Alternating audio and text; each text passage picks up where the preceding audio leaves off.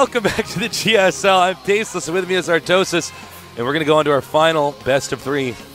Yes. I, uh, I'm very sad, though.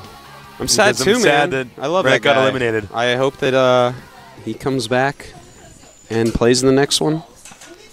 It's gonna be a little bit different though. He's not Code S, so he's gonna have to Yeah. qualify up. It's gonna maybe take a little bit. He bit. will at least be, um, what, Code A? no, could be. Code B? Yeah, unless he gets one of the invites for Code A. Oh, we'll, right, we'll right, explain that whole system more. yeah, later, that's but, we have uh, a complex system point base. He's here. not. He's not in Code A. I don't believe. So. All right. Oops. Um, anyways, too bad we got had to see our friend lose, but we're going on to the next game. Uh, we have JSL against HongUn Prime, Yeah. and I think this might be um, possibly one of the closest matches because uh, HongUn Prime, as you guys have probably seen if you've been following previous GSLs, is a very creative, highly intelligent Protoss. Um, a lot of people are really intimidated by him. He's right up there with you know maybe like one or two ranks down below NexGenius, but he's a real solid Protoss. And then we have JSL who's kind of this dark horse who's playing Yeah. really well. He eliminated Nada before he even got to the round of 64. Hmm. And if you eliminate Nada, uh, that means you're pretty good.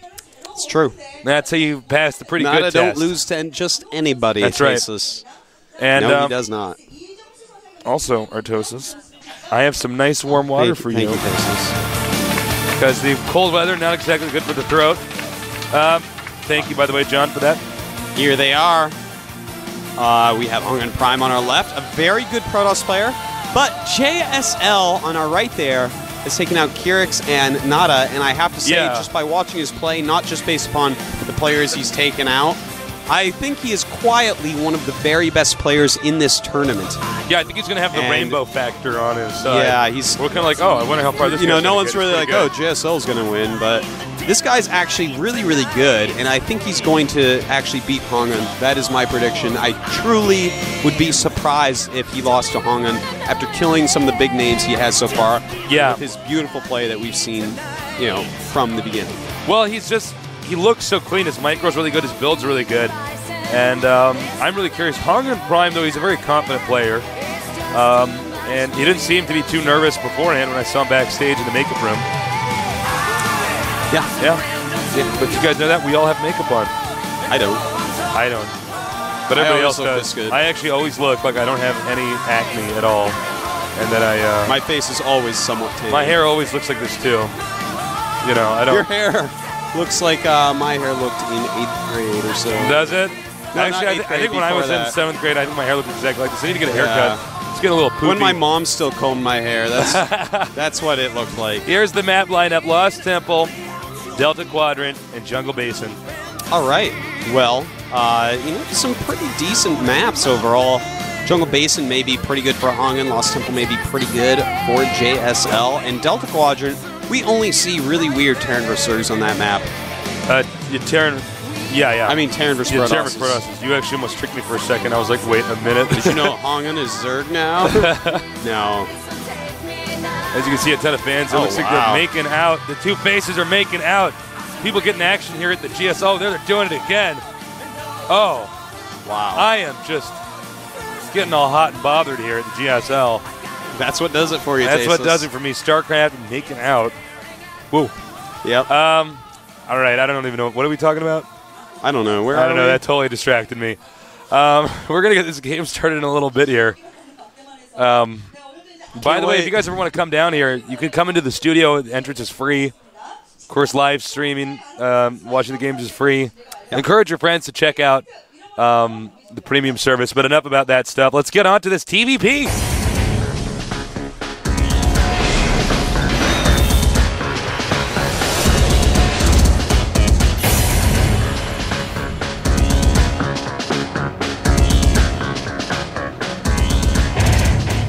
No turning back now. The game has started. HongUn Prime over here at the far left.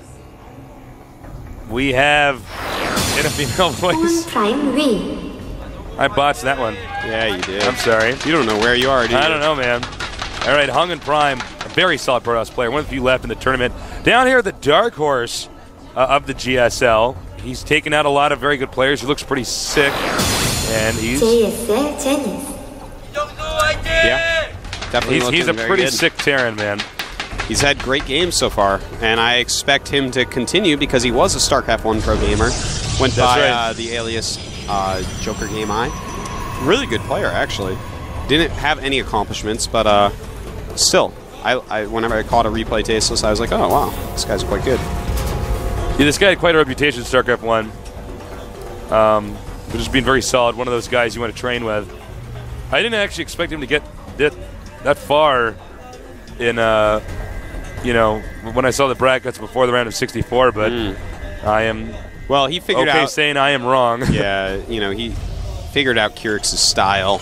Uh, that's something I actually had predicted to happen in round two of GSL 2, but he made it all the way to the round of eight and then won the G Stars Invitational. So it took a little longer than I was expecting, but uh, Well, the metagame's changing so fast. You know, with Mm. replays, um, not not of this tournament obviously being available, but so many replays are out there, uh, so many VODs, and of course you can stock people's build orders online.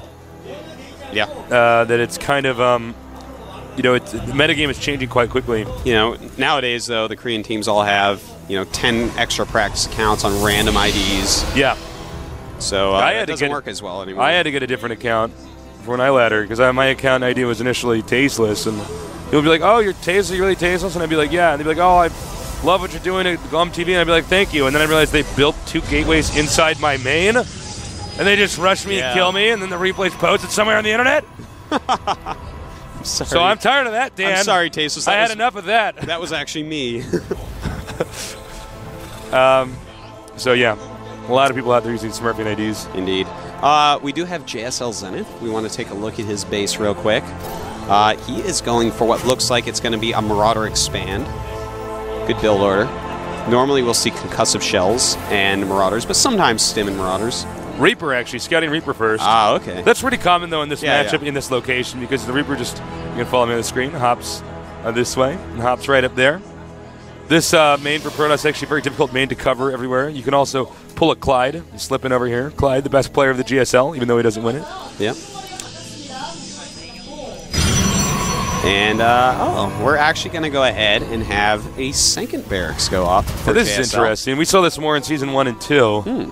People kind of strayed away from it after a while. Yeah, you know, uh, some of these more economy-heavy plays have been pretty popular, but uh, to each his own. And this Reaper might do pretty good. Well, he is charging out a sentry. You can actually just shoot down a sentry. You can, but there is a Stalker out. Nice pull away by HongUn. Nice pull away again. Will the Reaper get any kills? He's going to have to get out of there. Nope. Nothing. HongUn Prime. Now he is expanding over here. Let me grab a Terran structure, and hit the V key. He didn't get to see the expansion during that attack. Ah, we do in fact have the expansion going up for our Terran player. Interesting. Yeah, and adding that third barracks, getting that reactor up before any upgrades. He sees that Nexus, realizes he is free to go ahead and expand as well. No, no, he is. He has actually not seen this Nexus. Oh, So the Reaper was right over there too. Yeah, well, I- he did I- see that's what I just one gateway, so uh, does know that. Well, I don't know what he does know. well, his Hard build to say. He doesn't, he doesn't truly know anything, but he can he can expect. Well, he didn't see much from the Protoss's tech tree. Hmm.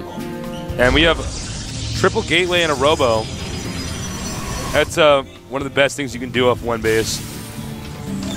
And Yeah, he's gonna have a second base up here pretty soon. You know, you got to get that robo out, see exactly what's going on. Good scan, sees that expansion, also sees the robo and another gateway going up, so he knows exactly what's going on now.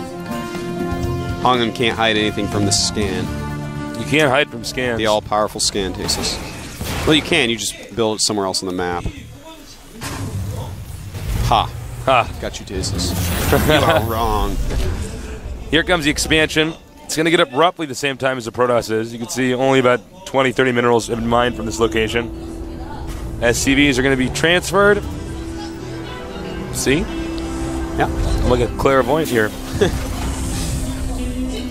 And we do have the factory going up here. right down here. Both players controlling their respective uh, Xel'Naga watchtowers. Now, I'm wondering, you know, when are we going to see Colossus text to? Terran is basically just using Marauders and Marines. Hmm. I like the fact that he hasn't tech to Colossus yet. You know, he's it's such an expensive unit. Oh yeah. Off two base, it's like really actually hard to go Colossus. Well, you're giving up a lot so of other stuff. Yeah, but he gets his probes up first, which is really good. You know, he's got to get his economy going before he actually techs Colossus. There it is. Gonna tech to it now, but definitely with a solid economy at least. JSL moving out now. He may try to test his opponent's defenses. It's a very sentry heavy and just one stalker. So if he actually has good micro, As you know, he could yeah. pick off a lot of units. You know, I think what HongUn wants to do is if he attacks, cut the army in half, kill the Right. front half with the zealots, back up, Yeah. warp in more units, and should be fine. Starport on the way. Reactor over here. Probably going to see medevacs coming. JSL will take out the destructible rocks, killing the chance for this plant life to ever continue growing on the destructible rocks. Yeah, that's too bad. It's too bad if you're a weed on the destructible rocks. You don't have much of a future. Well, it becomes mulch, so you know, It's true. It's that's the circle of life, Simba. life begot life. Now we have the um, this expansion's open. You know, I, I, I think I see what um, our Terran player is doing, and it's quite good. You just mass up Marines and Marauders and Medivacs, and because this map is pretty big and open, uh, you just try to uh, flank from all sides the Protoss' army. That's right, and he'll eventually make uh, Vikings as well. You know, get a few Right. medevacs out first so that they can pool energy. That's really important. They'll have more energy. You can stim more. You can heal more. And then he'll go ahead and tech into the Vikings. See, he scans, sees Colossus are being made, Thermal Lance is being gotten. So He might get two Vikings out of here right away. yeah, he might switch over to Viking reasonably quick. In fact, he's going for a second starport. And Interesting. he's actually going to go with two reactors as well. So he's going to super counter these Colossus. He realizes, okay, this is two base Colossus. If I destroy them quite hard, I should be good. But look at this. It's going to do a little drop, and this could be good because HongUn does not have any units in his main base.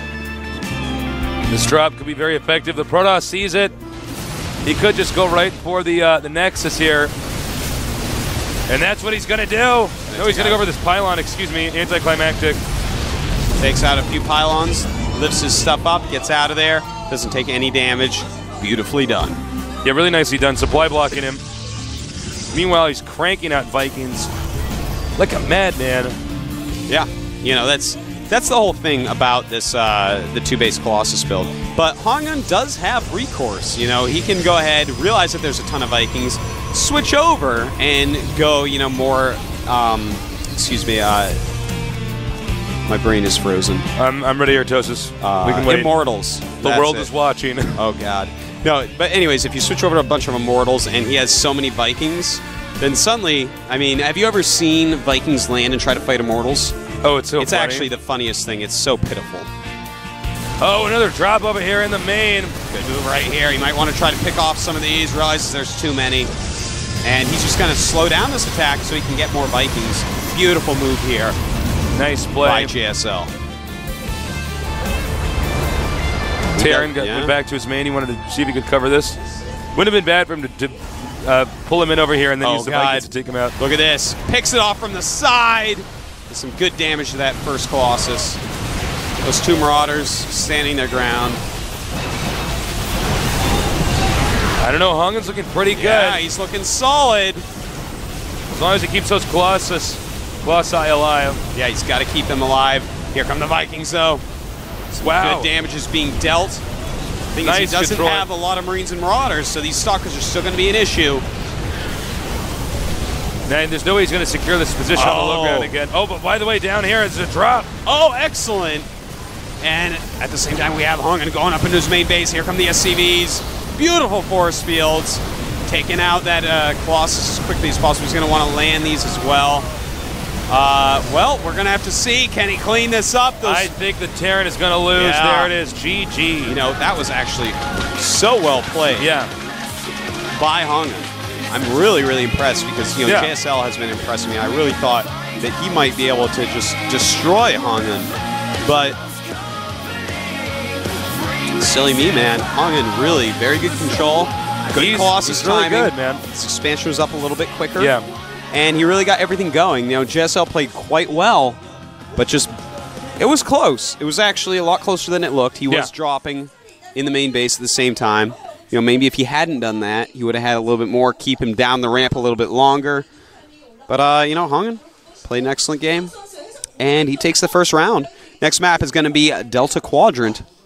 This can be hard for PVT. Yeah, it can be quite uh, tough. Delta Quadrant is a map. Uh, we do see a lot of different Protosses uh, rushing, warping in uh, into different locations. A lot of different rushes. This is actually one of these maps I think we have the shortest PVTs on. Yeah. So um, there's Well- stuff both races can do to hurt each other uh, early true. on. So um, it's going to be interesting. Yeah, I'm excited to see if uh, JSL is going to do what we always see Terrans do on this map, which Yeah. is try to get up the ramp despite having sentries. Uh, I hope not. I hope that we see something with a little bit more uh, thought behind it, and I think we will. Yeah, I hope we do, actually. I never understood that. Two racks, cross your fingers, hope he doesn't stage the strategy. Uh, the countdown started, so get ready for the second game. Can JSL come back, or will HongUn Prime make it all the way to the round of 16? We're going to find out soon.